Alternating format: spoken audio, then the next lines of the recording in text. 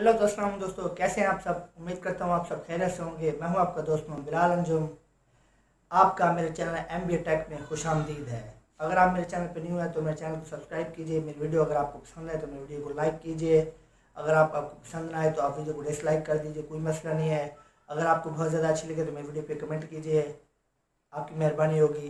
तो आज का मेरे वीडियो का टॉपिक ये है कि आप अपनी एंड्रॉयड मोबाइल में से जी मेल आई को लॉग आउट कैसे कर देते हैं? कॉमनली अक्सर मोबाइलों में लॉग आउट का ऑप्शन नहीं होता। मोबाइल में आपको जी मेल आई को लॉग आउट करने का कोई ऑप्शन नहीं मिलता। मैं आपको तरीका बताऊँगा आप किस तरह लॉग आउट कर सकते हैं। तो चलें चलता हूँ मैं अपने एंड्रॉयड मोबाइल की तरफ़ आपको लेके। एक बार फिर से आपको कहते चलूँ कि आप प्लीज़ मेरे चैनल को सब्सक्राइब कीजिए मुझे सपोर्ट कीजिए ताकि मैं आप, आप आपके लिए आगे और बेहतर अच्छी अच्छी वीडियोज़ लेके आ सकूँ। जी तो दोस्तों हम अपने एंड्रॉयड डिवाइस में आ चुके हैं।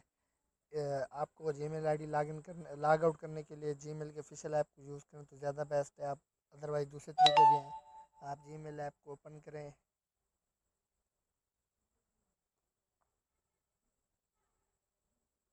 जी मेल ऐप को ओपन करने के बाद आपने तीन लाइन्स पे क्लिक करना है। यहाँ पे इसको क्लिक करें। आपको सबसे नीचे डाउन पे आपको सेटिंग का ऑप्शन मिलेगा। इस पर क्लिक करें। क्लिक करने के बाद आपको तीन डाट्स आएँगे। इस तीन डाट्स पे क्लिक करें। और मैनेज अकाउंट में चले जाएँ। मैनेज अकाउंट में चले जाने के बाद आप गूगल को क्लिक करें। गूगल क्लिक करने के बाद ये आपकी जी मेल हैं जो आपके मोबाइल में लॉगिन पड़ी हुई हैं। आप जिसको लॉग आउट करना चाहते हैं, जैसे मैं लास्ट वाले को लॉग आउट करना चाहते हैं, इस पर क्लिक करें। इस पर क्लिक करने के बाद आपको नीचे ऑप्शन मिल जाएँगे दो सिनेक्स नाव सिनिक नाव और रिमूव का। आप जस्ट रिमूव पर क्लिक कर दें और ये रिमूव हो जाएगी। जी तो दोस्तों, आप देख सकते हैं कि जी मेल इस टाइम रिमूव हो चुकी है। तो आज की मेरी इस वीडियो का अख्ताम होता है यहीं पे। तो अल्लाह हाफ़